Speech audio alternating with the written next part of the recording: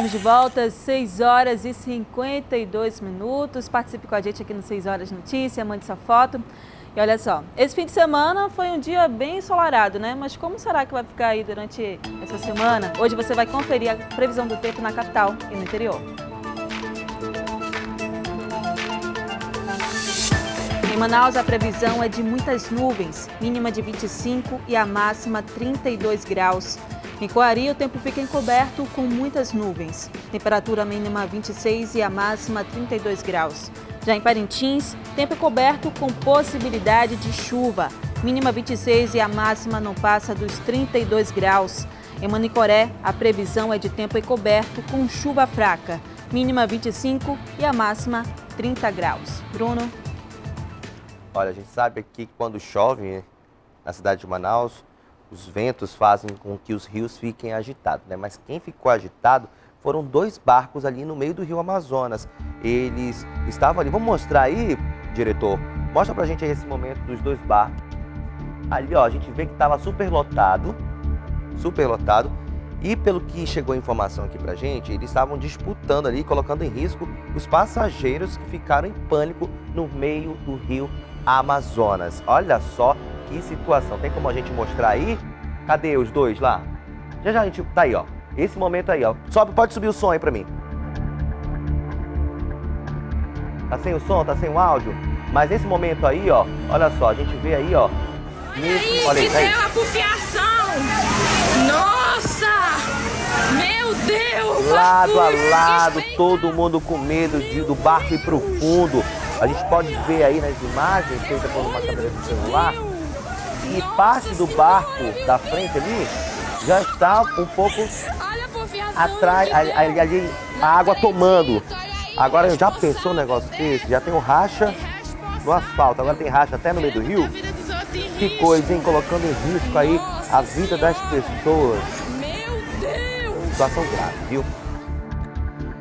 Ontem completaram dois meses da tragédia que aconteceu no bairro do Educandos, na zona sul de Manaus. Ao longo, ao longo dos dias, muitas pessoas fizeram uma corrente de solidariedade para contribuir com as vítimas que chegaram a cerca de 600 famílias. Neste domingo, foi a vez de presentear as crianças com material escolar. Vamos ver. Dia de festa para esses pequenos, junto com a família. Eles brincaram com massinhas e desenharam sonhos com lápis de cor. Tudo preparado pelo projeto Mulher Mais, da Igreja Adventista, em parceria com a Semasc e Fundo Manaus Solidária. O foco desta ação é a escola. Essas crianças que vocês estão vendo são vítimas daquele incêndio do bairro do Educandos. Hoje elas estão aqui para receber kits escolares. São 200 crianças no total. Nós vimos algumas crianças que não estavam indo para a aula porque não tinha condição de comprar o seu material escolar. Então, para nós, é uma grande alegria participar ajudando e ver essas crianças voltando para a escola. Os kits foram preparados e entregues às crianças em idade escolar que estão cadastradas como vítimas do incêndio. A secretária da SEMASC fala da importância de uma ação como essa. A gente sabe que é através da educação que a, nova, a história dessas crianças será recontada. Então é um momento muito especial, de dor certamente, né? pelo momento triste do mês de dezembro, mas da solidariedade.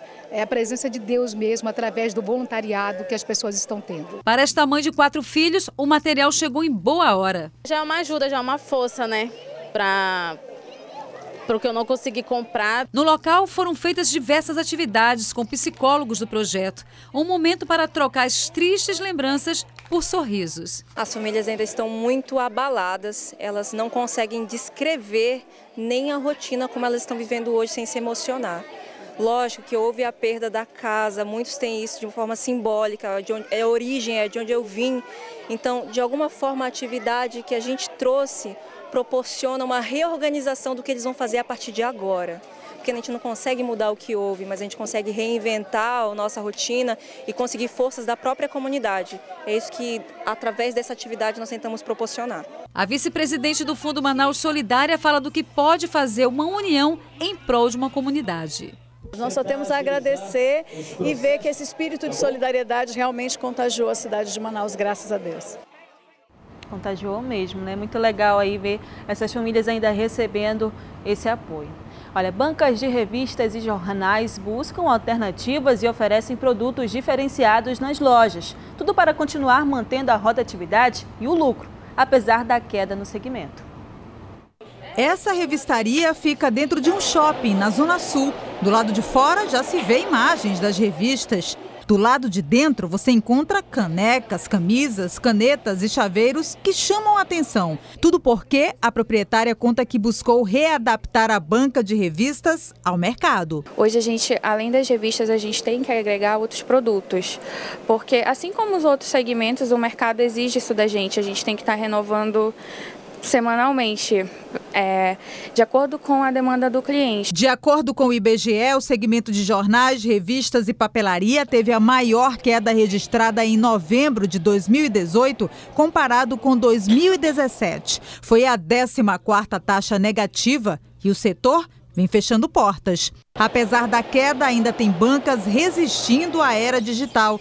Revistinhas de histórias em quadrinhos e mangás continuam fazendo a cabeça do leitor e frequentador do estabelecimento. O Lucas diz que prefere o meio tradicional, os livros. Vim justamente para procurar livros como Game of Thrones, para ficar um pouco mais, é, como podemos dizer, mais integrado esse, esse mundo, né? Ele quase saiu sem o livro, mas conseguiu encontrar e se deu bem. Para quem já foi um dia criança e amava ler a Turma da Mônica infantil, agora eles estão em versão adolescente. Esta outra banca fica na zona centro-sul. Aqui tem outros tipos de serviços, até xícaras personalizadas são produzidas. E tenta variar, dar uma variedade, né, para poder ter um público. A autônoma Kênia conta que frequenta a revistaria porque gosta de comprar passatempos para a mãe e livros para a filha. Mangá para minha filha de 16. Eu sou mais do tipo assim, edições é, bem interessantes, principalmente política, economia. Eu acho que o brasileiro em si tem que estar por dentro de tudo um pouco. E quem quer continuar tendo uma boa leitura de modo tradicional na revistaria, tem para todos os gostos. Olha só, o jornalista Vandré Fonseca morreu na tarde deste domingo depois de complicação decorrentes de um infarto. Ele trabalhou como repórter de TV entre 1998 e 2017. O comunicador tinha 46 anos. O velório dele está acontecendo ali na funerária Canaã, né, Gabi? É verdade, ali localizada na Major Gabriel, na zona sul de Manaus. Nossa tristeza e nossas lamentações à família desse grande jornalista chamado Vandré Fonseca. Bom dia para você.